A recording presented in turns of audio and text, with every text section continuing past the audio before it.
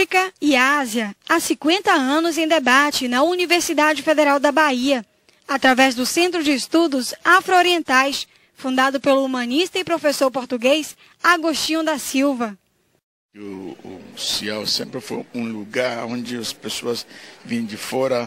podem chegar e fazer pesquisas sobre a história, especialmente a história da década de 50 pós-guerra para cá.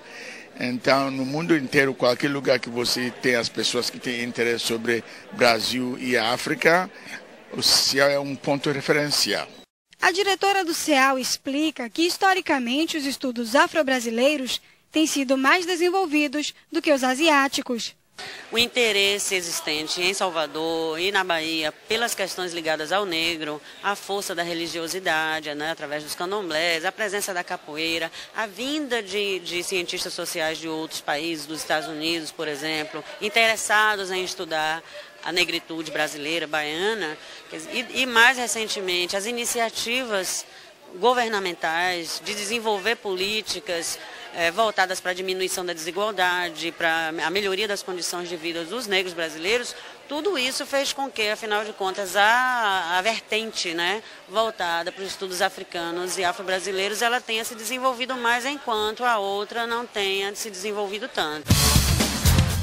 Estas estudantes americanas que fazem intercâmbio no Brasil aprenderam um novo olhar sobre as diferenças. Sempre eu tive muito interesse na, no assunto de raça, raça e as relações raciais, então quando eu cheguei aqui foi muito interessante para mim, porque na minha aula de português nos Estados Unidos eu aprendi as coisas sobre raça e não sei, mas você nunca pode saber até você chegar no país, então não sei, tomando aula na CA foi muito interessante para mim, porque eu posso aprender as coisas que eu nunca aprendi, eu posso ver as relações raciais num jeito diferente do que os Estados Unidos. Então, é muito interessante para mim. Na comemoração do aniversário do CEAL, um colóquio reuniu autoridades políticas, pesquisadores e militantes do movimento negro na Escola de Medicina da UFBA para tratar de temas como políticas afirmativas, igualdade racial e cultura negra. Olha, eu acho que há um, um avanço significativo é, nas políticas de inclusão da população negra, é, particularmente as políticas de promoção da igualdade no, nas universidades públicas brasileiras e também nas privadas, como ProUni, isso avançou bastante. É, no entanto, acho que as medidas ainda são tímidas, dado a dimensão do problema de exclusão que nós vivemos no país. Bom, eu considero que esses 50 anos de CEAL é, são 50 anos de contribuição para que o Brasil possa enxergar a si mesmo com a dimensão e com a pluralidade que ele foi constituído ou seja, é, a contribuição da Universidade Brasileira, particularmente a Universidade Federal da Bahia, para a promoção da igualdade no sentido pleno, da igualdade racial, da igualdade social, da igualdade cultural. E nesse sentido o CEL deu uma contribuição enorme,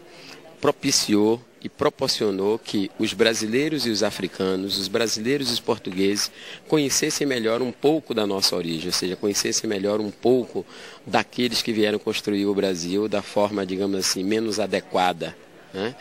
A luta de meio século do CEAL pela eliminação das desigualdades raciais se confronta com a constatação de que a sociedade precisa dar passos mais largos na busca por esse objetivo.